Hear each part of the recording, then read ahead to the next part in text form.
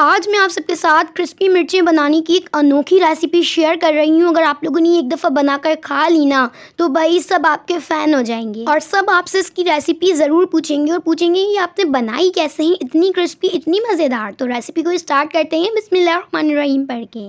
Crispy chilli या crispy मिर्चें बनाने के लिए सबसे पहले हम लोगों ने 10 से बारह दस बड़ी और मोटी वाली हरी मिर्चें लेनी हैं। इसमें मिर्ची कम होती है तो आप लोगों ने भी यही मिर्चें इसमें इस्तेमाल करनी है। अब मिर्ची को हम लोगों ने इस तरीके से सेंटर से कट करना है नाइफ़ की मदद से और स्पून की बैक साइड से हम लोगों ने इसके बीज अच्छे से रिमूव कर देने हैं। ये काम आप लोग नाइफ़ से भी कर सकते हैं, बस हम लोगों ने अच्छे से इसके बीज तमाम निकाल देने हैं कुछ इस तरीके से। बस एक बात का आप लोगों ने ख्याल रखना है कि मिर्चियों की डंडियाँ टूटनी नहीं चाहिए और इसको आप लोगों ने बहुत ज़्यादा कट भी नहीं कर देना। बस सेंटर में से कट करके इसके तमाम बीज अच्छे से निकाल लेने हैं। तो तमाम मिर्चों के मैंने बीज निकाल लिए हैं। अब मैं इसको एक बॉल में ऐड कर रही हूँ और इसमें हसबी ज़रूरत पानी शामिल कर रही हूँ। पानी शामिल करने के बाद इसमें हम लोगों ने टू टेबल स्पून के करीब विनेगर शामिल कर देना है। ये विनेगर वाले पानी में आप लोगों ने पाँच से दस मिनट के लिए मिर्चों को भिगो के रखना है, ताकि जितनी भी मिर्चों में अगर तेज़ी बने तो वो ख़त्म हो जाए। यह स्टेप आप लोगों ने लाजमी करना है। जब तक मिर्चें भीग रही हैं पानी में तो हम लोग जल्दी से मज़ेदार सी स्टफिंग रेडी कर लेते हैं। तो स्टफिंग बनाने के लिए मैं यहाँ पे तीन अदद उबले हुए आलू का इस्तेमाल कर रही हूँ और ये बड़े साइज़ के आलू हैं। छोटे आलू हैं तो आप लोग ज़्यादा भी ले सकते हैं और आलू की क्वान्टिटी कम ज़्यादा भी कर सकते बस आलू को हम लोगों ने अच्छे से मैश कर लेना है और मैश करने के बाद इसमें हम लोगों ने बहुत ही कम से स्पाइसेस ऐड करने हैं। तो सबसे पहले हम लोगों ने इसमें वन टीस्पून लाल मिर्च का पाउडर शामिल करना है और वन टीस्पून इसमें काली मिर्च का पाउडर शामिल करेंगे और साथ ही वन टीस्पून इसमें नमक शामिल करेंगे।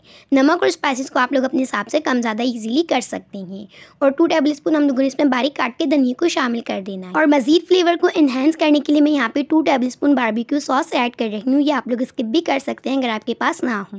बस तमाम चीज़ों को हम लोगों ने अच्छे से मिक्स कर लेना है। तो अब मैं आप सबके साथ 15 से 20 मिनट बाद कर क्लिप शेयर कर रही हूँ। मिर्चें बहुत अच्छे तरीके से पानी में भीगी हुई हैं तो अब इसका पानी हम लोगों ने डिस्कार्ड कर देना है और मिर्चों को हम लोगों ने एक से दो दफ़ा अच्छे से वॉश कर लेना है।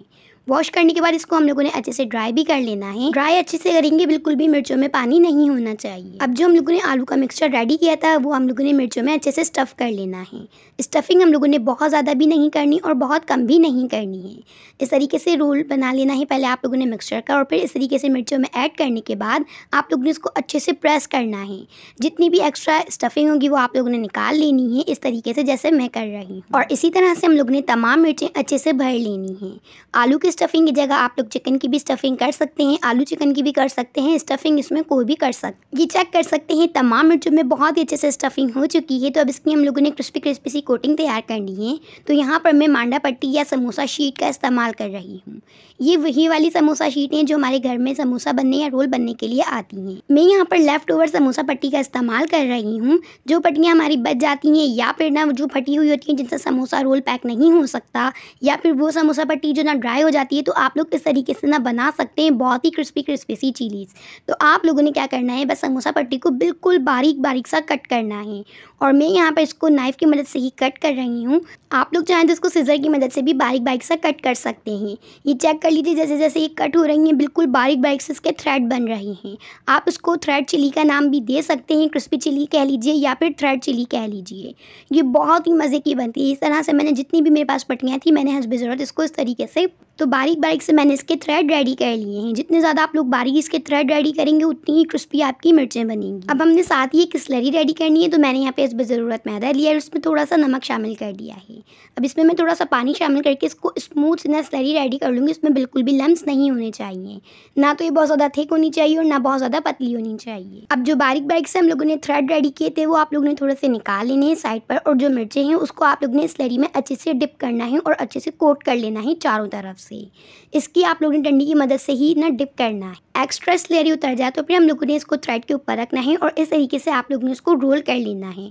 बहुत ही आसान है इस तरह से थ्रेड चिली बनाने का तरीका और इसको आप लोगों ने थोड़ा सा झाड़ लेना है। जितनी भी एक्सेस पट्टियाँ होंगी वो सारी नीचे खुद ही गिर जाएँगी। ये चेक कर लें, बिल्कुल भी अब ये उतर नहीं रही तो ज़बरदस्त से इसके ऊपर कोटिंग हो चुकी है। इसी तरीके से हम लोग ने तमाम मिर्चों की कोटिंग कर लेनी है थ्रेड से। तमाम थ्रेड चिली बहुत अच्छे तरीके से कोट हो चुकी हैं तो इसको हम लोगों ने फ्राई करना है ऑयल में। तो मैंने यहाँ पे ज़रूरत ऑयल लिया है, उसको मैंने हल्का सा गर्म कर लिया है।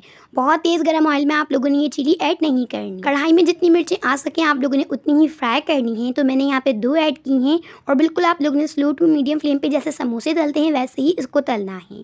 अंदर आलू की स्टफिंग है स्टफिंग हम लोगों ने कुक नहीं करनी, लेकिन हमने मिर्चों को कुक करना है और ऊपर की कोटिंग को ज़बरदस्त से क्रिस्पी क्रिस्पी सा कुक करना है। जब एक साइड थोड़ी सी डन हो जाए तो फिर आप लोगों ने इसकी डंडी की मदद से ही इसको साइड चेंज कर देनी है। जब ये दोनों तरफ़ से सेट हो जाएँगी तो फिर आप लोग इसको टोंग की मदद से ऊपर, नीचे, आगे, पीछे आराम से कर सकते हैं। अगर आप लोग बिल्कुल इसकी सही तरीके से कोटिंग कर दें तो बिल्कुल भी ऑयल में जाके खुलेगी नहीं, पट्टी ना ही ये बिखरेंगी और ना ही आपकी जो पट्टियाँ हैं वो चूरा चूरा होंगी।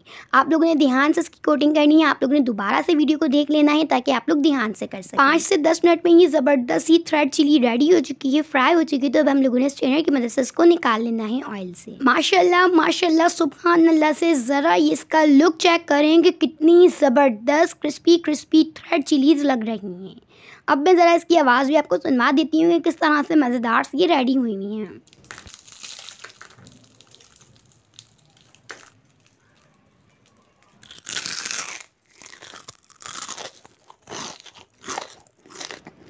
उम्मीद है कि आपको मेरी ये रेसिपी बहुत ज़्यादा पसंद आई होगी तो आप लोगों ने भी ये रेसिपी ट्राई करनी है और मुझे कमेंट्स में लाजमी बताना है आकर।